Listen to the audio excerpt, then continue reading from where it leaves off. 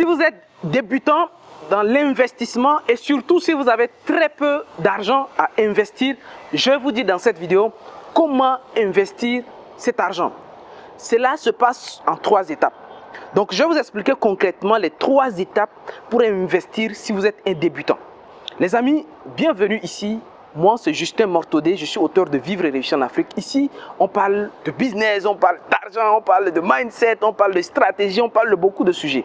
Donc, si ça t'intéresse, si les sujets d'argent, si tu n'es pas comme certaines personnes qui disent que l'argent, c'est la base de tous les mots, non. Si tu n'es pas ce genre de personne-là, tu es au bon endroit parce qu'ici, on parle de beaucoup d'argent.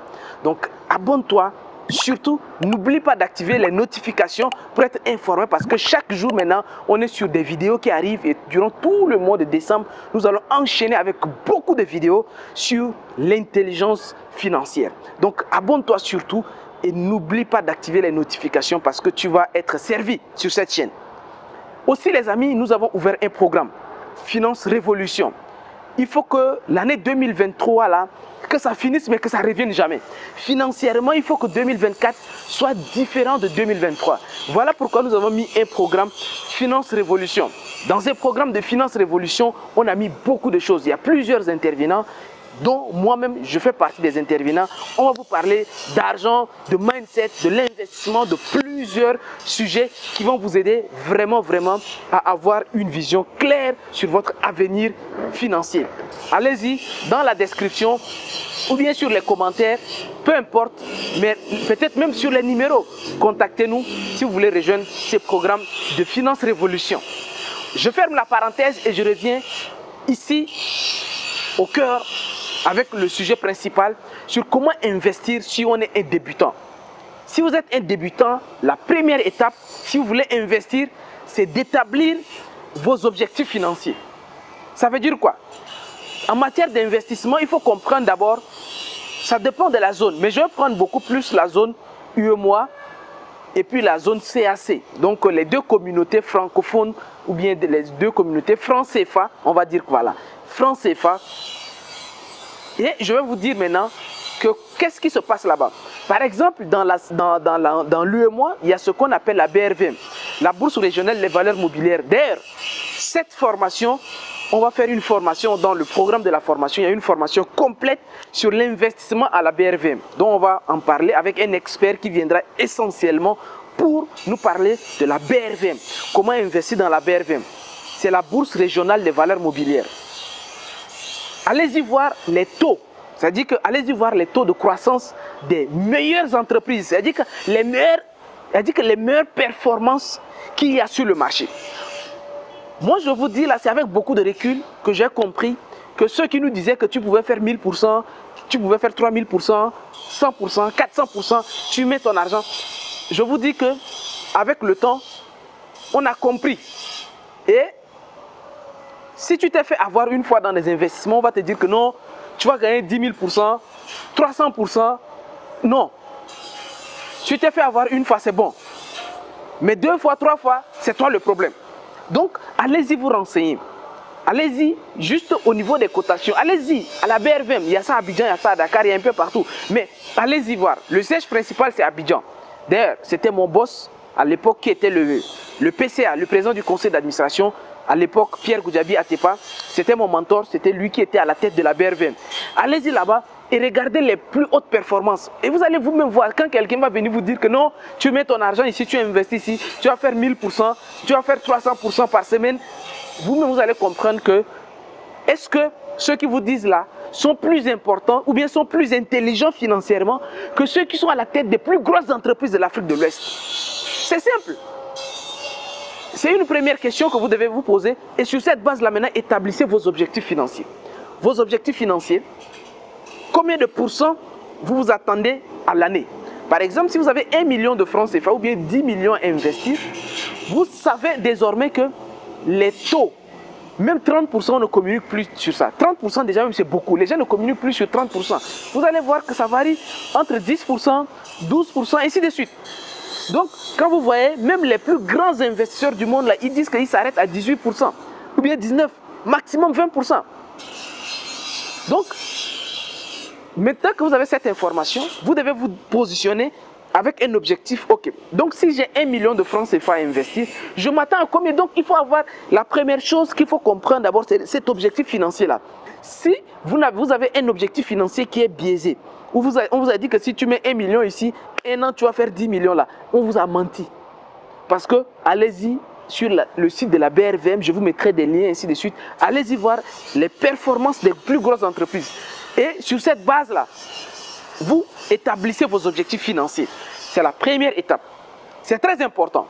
La deuxième étape, si vous voulez investir et que vous êtes un débutant, parce que je le dis bien que vous êtes un débutant, parce que c'est différent avec d'autres personnes que nous accompagnons, c'est un peu différent. D'autres portefeuilles qu'on gère avec euh, mes experts, ainsi de suite, c'est différent. Mais je prends le cas où vous êtes un débutant. Si vous êtes un débutant, malgré que vous êtes un débutant, si vous voulez investir, il faut vous rassurer de maîtriser ce dans quoi vous investissez votre argent.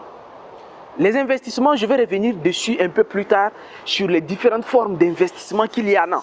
Mais peu importe le secteur d'activité que vous voulez investir dedans, il faut comprendre au minimum, au minimum ce qui se passe dans ces secteurs-là. Et ça, c'est un conseil que je tire tout droit du livre L'investisseur intelligent de Benjamin Graham, qui a été préfacé d'ailleurs par Warren Buffett. Vous ne pouvez plus perdre de l'argent tout le temps et mettre, Inch'Allah, ah, c'est Dieu qui a voulu qu'on perde. Non, Dieu n'a pas voulu que tu perdes ton argent. C'est parce que tu fais des choses que tu ne comprends pas. Donc il ne faut pas, à un moment donné, arrêter d'accuser Dieu. Vous faites des choses que vous ne comprenez pas. Moi, j'ai perdu beaucoup d'argent dans des investissements, mais je avec le temps, je me suis rendu compte que c'est parce que je ne savais pas ce que je faisais. Donc, vous, je ne veux pas que vous fassiez les mêmes erreurs. Voilà pourquoi je vous donne ces conseils-là. N'investissez plus dans quelque chose que vous ne comprenez pas. On va vous dire non, il y a telle crypto-monnaie, si tu mets dedans, il y a le halving, parce que tout le monde en parle. Il y a ce qu'on appelle le FOMO. Le FOMO, F-O-M-O. Fear of missing out. Vous avez peur de rater l'opportunité ça, c'est très connu dans les crypto-monnaies. Oh non, qu'il y a telle crypto-monnaie qui est en train de monter, a telle crypto-monnaie. Et d'ailleurs, même dans, le programme de la formation, on sera, il y aura une partie qui sera essentiellement réservée à la crypto-monnaie. Comment on investit dans les crypto-monnaies? Les quatre différentes manières pour investir sereinement dans les crypto-monnaies. On va revenir sur ça. Il ne faut plus être dans des illusions où vous allez perdre de l'argent. Ceux qui cherchent à beaucoup gagner, et d'ailleurs, c'est le prochain point. Le prochain point, c'est ça, c'est pour ceux qui cherchent à beaucoup gagner. Parce que si vous vous rendez bien compte, la plupart des personnes qui cherchent à beaucoup gagner, c'est eux qui perdent. Vous qui êtes ici, qui avez investi dans crypto-monnaie, là, combien gagnent déjà dans les crypto-monnaies? Combien on vous dit que non, vous allez gagner rapidement? Combien ont gagné l'argent rapidement? Moi, en 2020, j'ai gagné beaucoup d'argent dans les crypto-monnaies, mais c'est en l'espace de un an et demi. Parce que j'ai investi en début d'année, vers mars comme ça. Peut-être euh, c'était mars, avril, c'était même pendant la crise Covid. Et au moment où j'ai fait beaucoup d'argent, c'est un an et demi plus tard. C'était à la fin de l'année 2021. Et ça, c'est un autre principe des crypto-monnaies que je vais vous expliquer et qu'on va voir en détail dans la formation. Les crypto-monnaies, le principe c'est simple. On achète quand c'est faible. On achète quand le prix est bas et on attend que ça monte.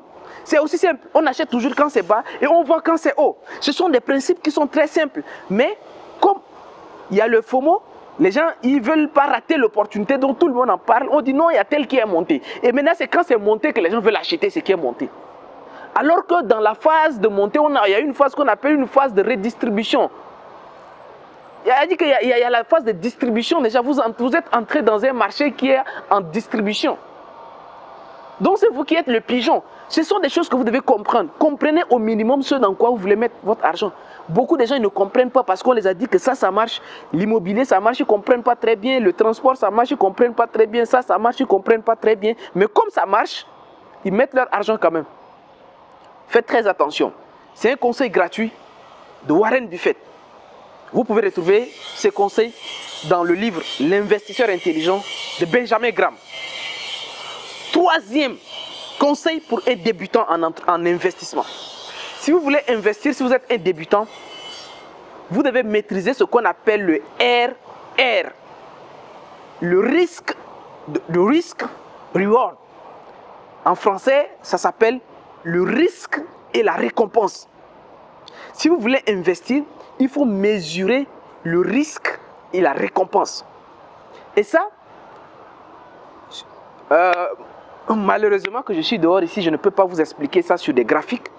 Mais quand vous prenez TradingView, TradingView c'est un outil qu'on utilise nous également pour analyser le marché.